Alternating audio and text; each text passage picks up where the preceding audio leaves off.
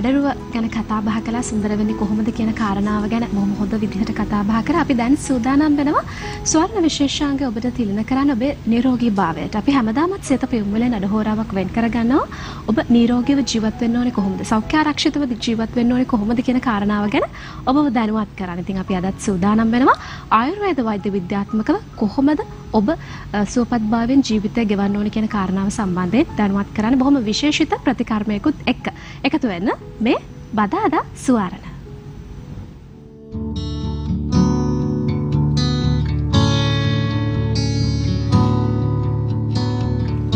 හොඳයි. අද දවසේදීත් මේ ප්‍රතිකාරය සම්බන්ධයෙන් කතා බහ කරන්න අපිත් සමග සම්බන්ධ වෙන්නේ කිරිබත්ගොඩ ආයුර්වේද පංචකර්ම රෝහලේ හිටපු අධ්‍යක්ෂිකා එවැගේම උස්පටිකේයව කයා සිලොන්හි උපදේශක වෛද්‍ය ගම්පහ වික්‍රමාරච්චි ආයුර්වේද රෝහලේ පංචකර්මාංශයේ සේවය කරන තිලානී වර්ෂවිතාන වෛද්‍යතුමිය. අයිබෝවන් සුබෝදෑසන කියලා බොහොම ගෞරවයෙන්. අයිබෝවන් සුබෝදෑසනක් අජානි. ඔව්. ඒත් එක්කම අපිත් සමග සම්බන්ධ වෙනවා ගම්පහ වික්‍රමාරච්චි ආයුර්වේද රෝහලේ වෛද්‍ය නිමෝදනී ආයෝනා වගේම කෞශල්‍ය රූපසිංහ වෛද්‍ය දෙපළවත් අයිබෝවන් සුබෝදෑසනක් කියලා පිළිගන්නවා මෙදිරියට. හොඳයි.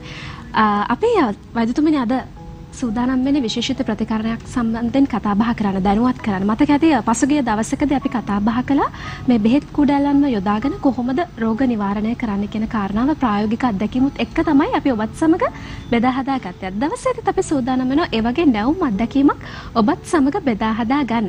මම කැමතියි මේ පිළිබඳව පැහැදිලි කිරීමක් කරලම අත්දැකීමට යනවා නම්. ඇත්තම අජානී ඔගලන්ගේ ආරාධනාවෙන් මං හිතන්නේ සියත පෙවුම්විල සුවාරණ අපි ආයුර්වේද ශල්‍යාගාරයක් කරයි කියලා. ඔව්. ඉතින් මේ විශේෂයෙන්ම කතා කරන්න ඕන මේ ගිය සතිය ගිය සතියේ කලින් සතිය අපි නැවුම් අධ්‍යක්ීමක් ගෙනාවා ආයුර්වේදයේ පංචකර්මාංශයේ ප්‍රතිකාරයක් වන මං විශේෂයෙන්ම කියන්න ඕන ආයුර්වේද පංචකර්ම කියන්නේ පස්විධ ප්‍රතිකාර ක්‍රමයක්. එතකොට සුසුතාචාර්යවරයා තමයි අද ශල්්‍ය වෛද්‍ය විද්‍යාවේ පියා හැටියට ගණන් ගන්නේ. එතුමා අලුත් ක්‍රමයක් මේ පංචකර්ම වලට නස්ය කිරීම, වමනය කිරීම, විරේක කිරීම හා වස්තිකර්මයට අමතරව රක්ත මෝක්ෂණී කියලා ප්‍රතිකාර ක්‍රමයක් හඳුන්වා දීලා තියෙනවා. එතකොට ඒකේ ආයුර්වේද පංචකර්මාශ්‍රයේ ශරීරය සුද්ධ කිරීමේ ප්‍රතිකාර ක්‍රමයක් විදිහට තමයි මේක ඇවිල්ලා තියෙන්නේ. ඉතින් මේ රක්ත මෝක්ෂණය කියන එක පුළුල් පරාසයක් තියෙනවා අපිට. අපි එදා කතා කරා මොකද ජීවීන්ව ප්‍රතිකාරයට යොදා ගන්නා පළමු හමු කියන්නේ මූලාශ්‍ර සොයා ගැනීම තියෙන්නේ ආයුර්වේදේ. අපි කතා කරා ජීවියෙක්ව යොදාගෙන කොහොමද මේ ප්‍රතිකාර ක්‍රමය කරන්නේ කියන එකත් ඒක කොයි විදිහටද වැදගත් කළමනාකරණය කරගන්න ටිකක් අමාරුයි. අපි ජීවියෙක් වෙනුවෙන් ජීවියෙක් යොදා ගැනීමේදී කළමනාකරණයේ අපහසුතාවයත් එක්ක කොයි විදිහට ප්‍රායෝගික අත්දැකීම අපිට මීට పూర్වෙහි දන්නන්න පුළුවන්කම හම්බුණා. අද මං හිතන්නේ අපේ තරුණ වෛද්‍යවරු දෙන්නෙක් ඉන්නවා ඉතාමත් සුවිශේෂීව මේ පිළිබඳව කරන්න. අද කපින් කියන ප්‍රතිකාර ක්‍රමයේ තව විදියක් රක්ත මෝක්ෂණය කියන්නේ රුධිරයේ අපිරිසුදු රුධිරය ඉවත් කිරීම කියන එක.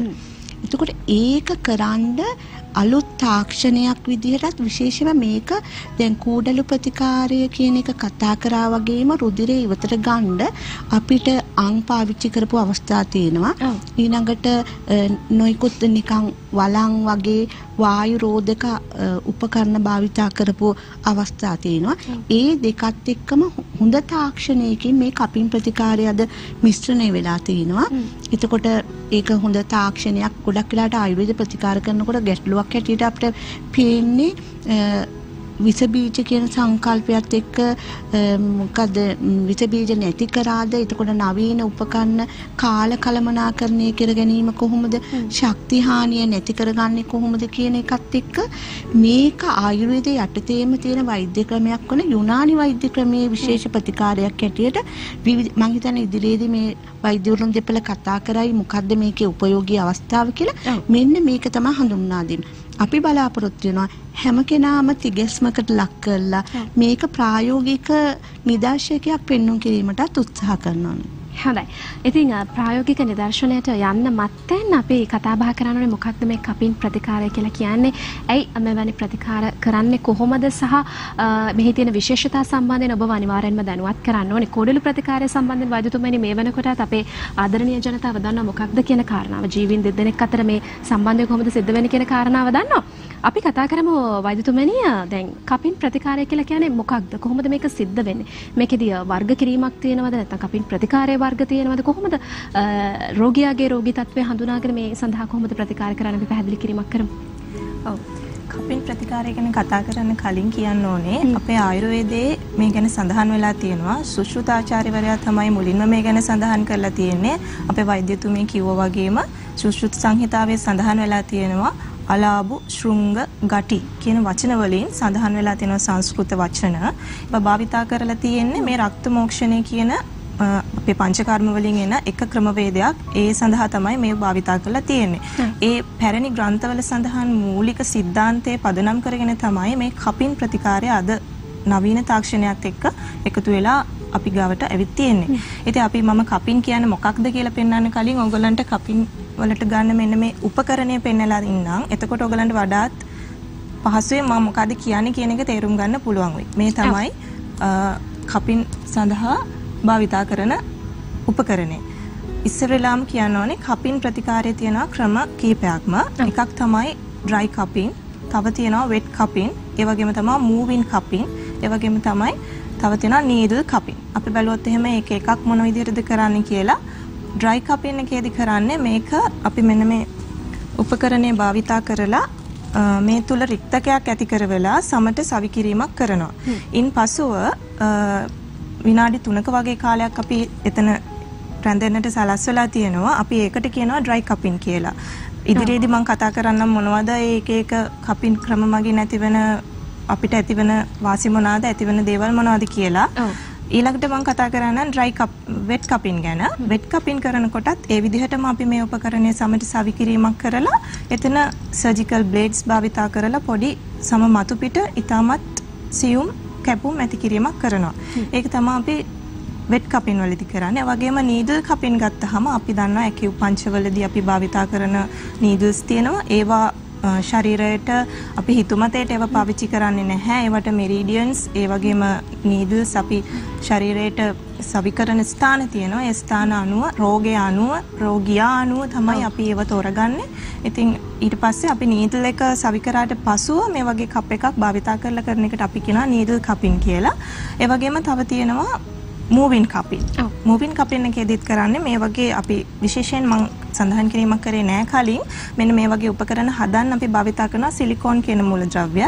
සිලිකෝන් මගින් හදාගන්න මේ වගේ කප් භාවිතා කරලා අපිට මූවින් කපින් කරන්න පුළුවන්. ඒකෙදි වෙන්නේ ශරීරයට එක තැනකට සවි කරලා ඔව්. තවත් ස්ථානයකට රැගෙන යාමක්. එතකොට අපිට එතනදී රෝගය අනුව තමයි මේ හැම වර්ගයක්ම අපි තෝරා ගැනීමක් කරන්නේ. එතකොට එතනදී අපිට පුළුවන් සමට යම්කිසි මසාජ් එකක් එහෙම නැත්නම් යම්කිසි පීඩනයක් ලබා දෙන්න. තෙරපීමක්, ලබා දෙන්න. ඔව් දැන් වෛද්‍යතුමනි මට මෙතන දිස් වෙනවා මේ විවිධ ප්‍රමාණයෙන් යුක්ත කප්. වර්ග අපි ඒක පිළිබඳව පොඩි හැඳින්වීමක් කරමු කොහොමද ඒක තෝරාගන්න කියන එක. ගැන ප්‍රමාණය තෝරගන්නේ අපි දැන් ඉස්සර වෙලාම අපි රෝගියා සහ රෝගය ගැන පරීක්ෂා කරනවා. ඊට පසුව රෝගය තිබෙන ස්ථානය අනුව තමයි මේ කප් එකේ ප්‍රමාණය තීරණය කරන්නේ. අපි උදාහරණයක් විදිහට ගමු අපේ අපි අත්වලට ඔව් අත්වලට කරනවා නම් අපි මේ ප්‍රමාණය අපිට ගන්න පුළුවන්. නමුත් එතන තියෙන රෝගී තත්ත්වය වඩාත් පැතිරිලා තියෙනවා නම් අපිට පුළුවන් මීට වඩා තරමක් විශාල ප්‍රමාණයක කප් එකක් උනත් භාවිතා කරන්න. එතනදි ගැටලුවක් ඇති වෙන්නේ නැහැ ප්‍රමාණය දැන් කියන්නේ රෝගය සහ රෝගේ පැතිරලා තියෙන ප්‍රමාණය අනුව තමයි කප් එකේ ප්‍රමාණය. තීරණය වෙන්නේ. අපි ශරීරයේ ස්ථානය බලන්න ඕනේ. කොයි වගේ. ස්ථානයකටද විශාල ප්‍රමාණය මේ වගේ උපකරණ අපිට ශරීරයේ හැම ස්ථානයකටම පාවිච්චි කරන්න බෑ. උදාහරණයක් විදිහට මූණ වගේ ප්‍රදේශයකට මේ වගේ ප්‍රතිකර්මය කරනවා නම් අපිට විශාල ප්‍රමාණයක කප් එකක් යොදා ගැනීමේ අපහසුාවක් තියෙනවා. ඒ වගේ වෙලාවට තමයි අපි කුඩා ප්‍රමාණයක කප් යොදාගන්නේ. හොඳයි. දැන් කපින් ප්‍රතිකාරය සම්බන්ධයෙන් කොහොමද මේ ප්‍රතිකාරය කරන්න කරන්න කියන කාරණාව සම්බන්ධයෙන් අපිට හොඳ අදහසක් පැහැදිලි අවබෝධයක් ආයුර්වේද වෛද්‍ය විද්‍යාත්මකව ලැබුණා කියලා විශ්වාස කරනවා වෛද්‍යතුමිය වෛද්‍ය ආයෝනා වෛද්‍යතුමිය පිළිබඳව හොඳ පැහැදිලි කිරීමක් ඔබට ලබා දුන්නා. ඉතින් ඒ වගේම තමයි වෛද්‍යතුමියනේ මට දැනගන්න ඕනේ දැන් කුඩලු ප්‍රතිකාරය සම්බන්ධයෙන් අපි කතා බහ කළානේ මීට පෙර ආතුව. දැන් මේ කපින් ප්‍රතිකාරය හා කුඩලු ප්‍රතිකාරය අතර තියෙන වෙනස්කම මොන වගේද? අපි ඒ ගැන පොඩ්ඩක් කතා කරමු. ඔව් මේ අජානි අපි කලින් සඳහන් කරා වගේම කූඩලු ප්‍රතිකාරය ඉතාම සුවිශේෂී. සුවිශේෂී කියන්නේ අර හන්සයා මේ දියවලින් කිරි වෙන් කරගන්නවා වගේ රුධිරයෙන් අපිරිසුදු රුධිරය වෙන් කර ගැනීමේ අවස්ථාව කූඩල්ලට සුවිශේෂ හැකියාවක් හැටියට ලැබිලා තියෙනවා. ඉතින් ඒක ඉතාමත් වැදගත්.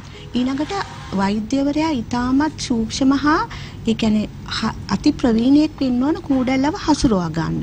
ඒකට ඒ වගේ දුෂ්කරතා මග ඇරලා ඉවරලා එමහා සමාන වටිනාකමකින් ප්‍රතිකාර ඉදිරිපත් කිරීමට තමයි අනිත් අවශේෂ ප්‍රතිකාර හම්බ වෙලා තියෙන්නේ. ඉතින් එතෙන්දී වඩාත්ම වැදගත් මේ කෆින් ප්‍රතිකාරය කූඩලු ප්‍රතිකාරයටත් වඩා සාර්ථක තත්ත්වයන් ගෙන දෙනවා. මොකද කූඩැල්ල අකමැති වුණොත් රුධිර උරා බොන්න අපිට ප්‍රශ්නයක් තියෙනවා මේ ගැටලුවට කොහොමද උත්තරයක් සපයන්නේ කියලා. ඊළඟට මේක කූඩැලු ප්‍රතිකාරයේ විශේෂම රුධිරයත් එක්ක සම්බන්ධ අවස්ථාවක් හැටියට තමයි අපිට කතා කරන්න පුළුවන්.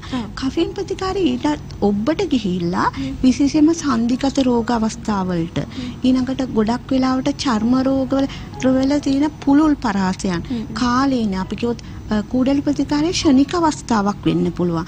මේක ඊට වඩා කාලීනව පුළුල්ව යන පුළුල් මං හිතන්නේ වෛද්‍ය අයෝනයි වෛද්‍ය කෞශල්‍ය ඉස්සරහට පැහැදිලි කරලා ඔක්කොම ආකර්ෂණය කරගනිවි. තරුණ ලස්සන දොස්තරලා දෙන්නෙක් අපිට හම්බෙලා තියෙනවා.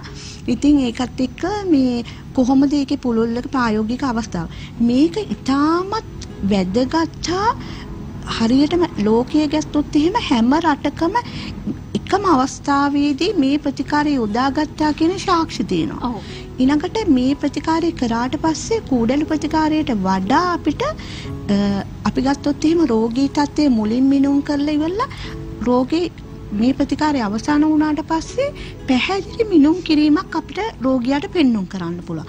ඊට ගොඩක් අවස්ථා තියෙනවා හැම කෙනාටම ඉතාමත් පහසුයි. මේක දැන් වෛද්‍යතුමිය අපි නිදර්ශකයට අඬ ගහගත්තම එයා අකමැති වුණා පෙට් කෆින් එකට යන්න. ඒ කියන්නේ රුධිරේ එළියට ගැනීමේ ප්‍රතිකාරයට කැම.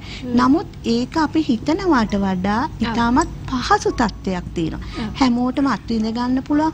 ඊළඟට හැම කෙනාටම මේ සේවය ආයුර්වේද රෝහල් වලින් ලබාගෙන තමාව හොඳ ජීවිතයක් කරා ගෙන යන්න අවස්ථාවක් හැටියට මේ ප්‍රතිකාරය යොදාගන්නේ කියන එක තමයි කියන්න තියෙන්නේ. හොඳයි. ඒ අවස්ථාව ඔබටත් ලැබේ. ඒ නිසා ඔබ අනිවාර්යයෙන්ම අපේ කතා බහත් එක්ක එකතු වෙලා ඉන්න කියලා අපි ආරාධනා කරනවා. අපි දැන් දැනගන්න ඕනේ වෛද්‍යතුමියනේ වෛද්‍ය අයනතුමියනේ මේ මේ මේ කපින් ප්‍රතිකාරය මොන වගේ රෝග සඳහාද නිර්දේශ කරන්නේ?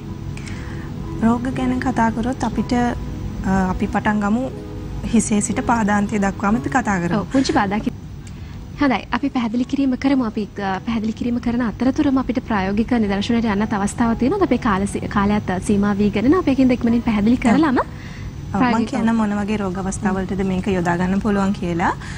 අපිට යොදා ගන්න පුළුවන් අපේ ආයුර්වේදයේ සඳහන් කරලා තියෙන අපි මේ සාමාන්‍ය හෙඩේක් කියන ඔළුවේ. කැක්කුම කියන එක අපේ විදිහට කියලා තියෙනවා. ඔළුවේ කැක්කුම වර්ග ගණනාවක් ආයුර්වේදයේ සඳහන් වෙලා තියෙනවා. උදාහරණයක් විදිහට ගත්තාම සූර්යා වර්ධ අර්ධාව බේදක අන්න ඒ වගේ කියන ශීර්ෂ රෝගවලට යොදා ගන්න පුළුවන්. වර්ධ කියන එක සමා වෙන්න ගොඩක් වෙලාට ඉඩුව ආරදේ කියන එක මිග්‍රේන් කියන தত্ত্বය අර්ධාව බේදේ කියන පච්චක් අපිට වේදනාකාරී වෙන ඒ වගේ රෝග වර්ග හිතේ රෝග වර්ග 18ක් වගේ තියෙනවා. ඒ 18ට මේ අවස්ථාව ප්‍රයෝජනට ගන්න පුළුවන්. ඔව් ඒ වගේම තමයි අපි හිතන්නේ නැති පැත්තක් තියෙනවා. මම ඒක මුලින් කියලා ඉන්නම්. අපි දන්නා කවුරුත් මද සරුභාවය එහෙම නැත්නම් දරුවන් නොමැතිකම ඒ වගේ අවස්ථාවලට පවා මේ කපින් ප්‍රතිකාරය යොදා ගන්න පුළුවන්. ඒ වගේම තමයි ජොයින්ට්ස් වල තියෙන වේදනාවන් උදාහරණයක් විදිහට arthritis, rheumatic arthritis, osteo arthritis අනේ වගේ තත්ත්ව. ආයුර්වේදානුකූලව කියනවා නම් ආම වාත, සන්ධිගත වාත. අනේ වගේ රෝගවලට ඊට අමතරව අපිට චර්මය ගත්තාම චර්මයේ තියෙන කැසීම් වගේ තත්ත්වවලට ගන්න පුළුවන්, කුරුලෑ තත්ත්වවලට ගන්න පුළුවන්. ඒ වගේම තමයි මෙතනදි කියන්න ඕනේ මේ කපින් යොදා නොගන්න අවස්ථාවක් තියෙනවා. වහාම කැපුණු තුවාලයකට මේ කපින් ප්‍රතිකාරය කරලා රුධිරය ඉවත් කිරීමක් කරන්නේ නැහැ.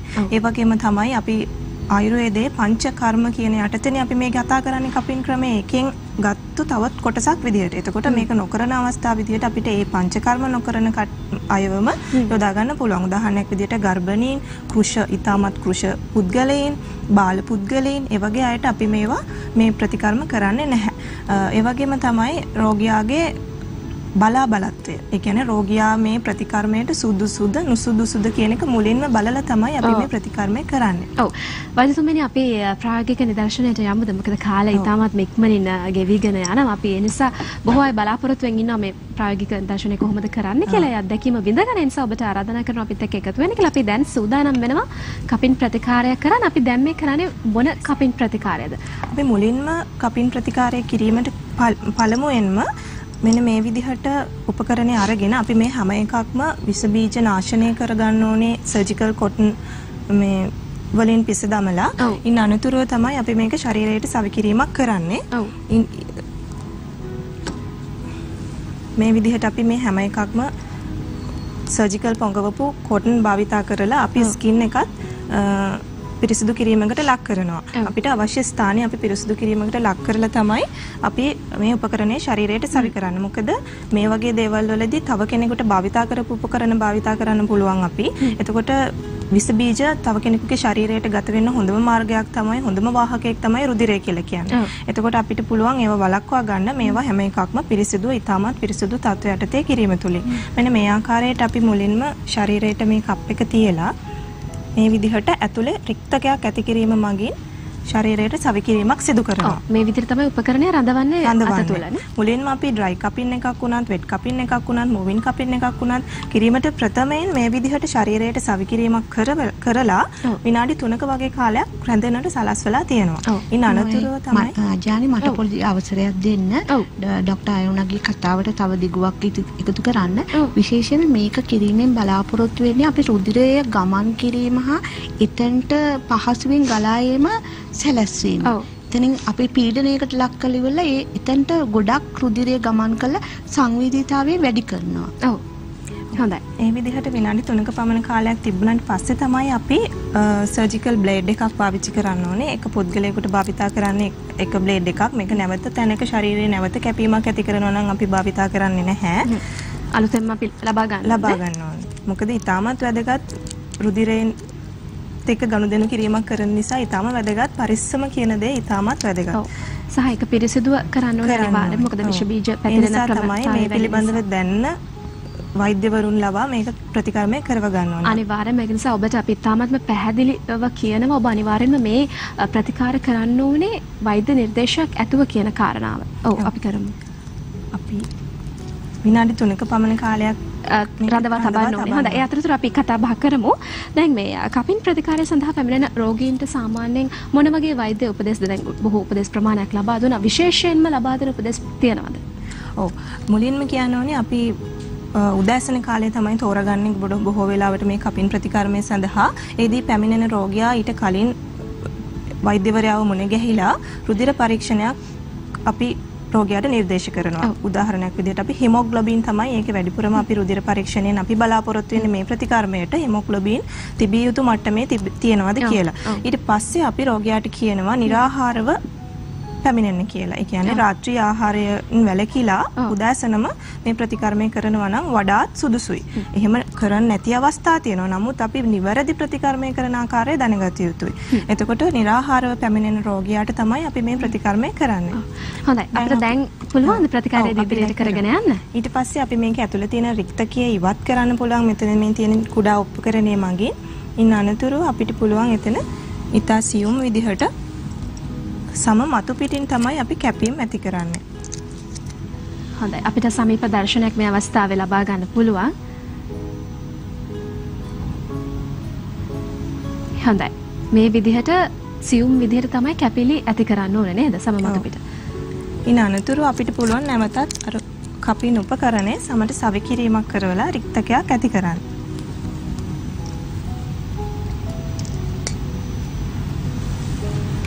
සමීප දර්ශනයක් ගත්තොත් පෙයි. හොඳයි. අපිට අතේ සමීප දර්ශනයක් මේ වෙලාවේ දකින්න අවස්ථාව තියෙනවා. හොඳයි. මේ හොඳ මේ විදිහට තමයි මේ ප්‍රතිකාරය කරන්නේ. පේනම ඇති රුධිරය කොහොමද. ඉදිරියට එන්නේ කියලා. ඒකෙදි වෙන්නේ මෙතනදි වෙන්නේ අර වෛද්‍යතුමිය කතා කරා වගේ දැන් අපි හිතමු මෙතන උදාහරණයක් විදිහට අපි හිතමු ශිරා ග්‍රන්ථි වෙරිකෝස් වේන්.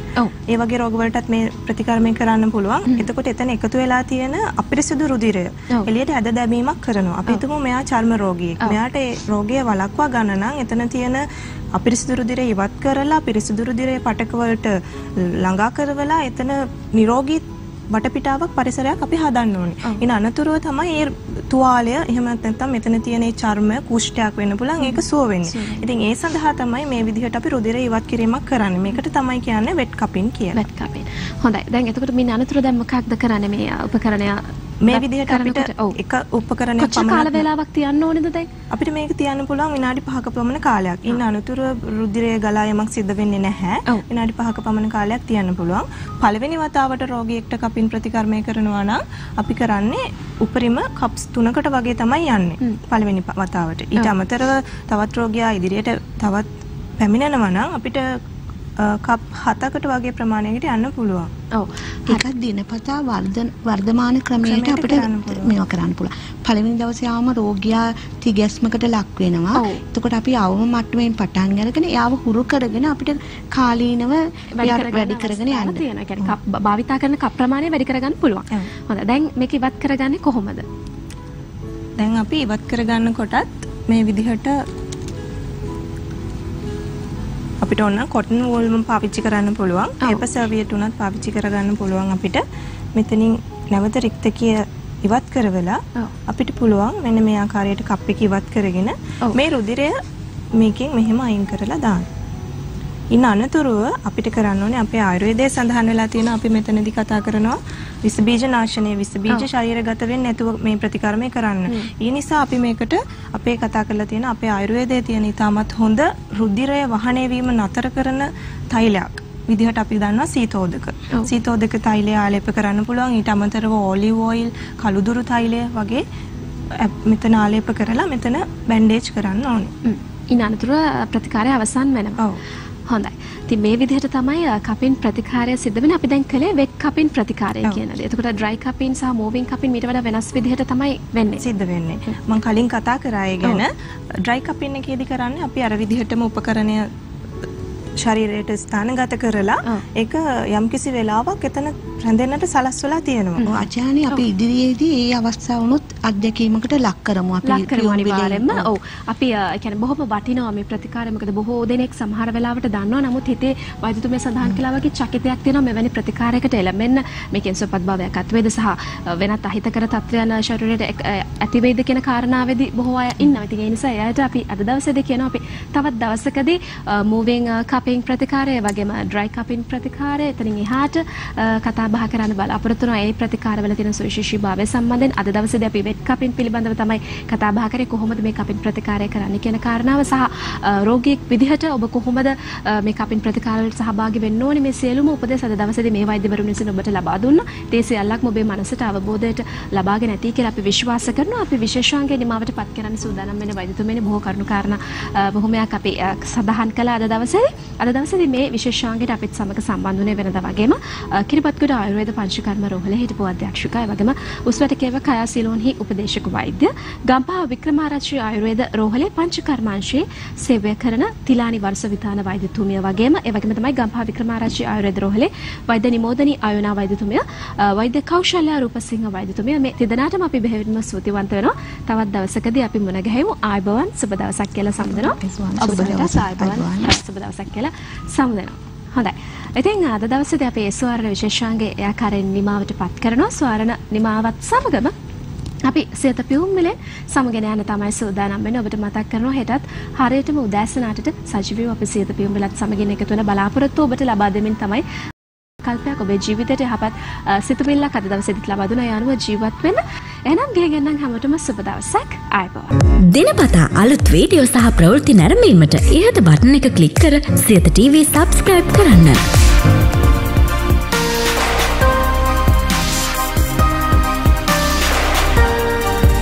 අලුත් වීඩියෝ ගැන මුලින්ම දැනගන්න මෙම සීනුව කලික් කරන්න.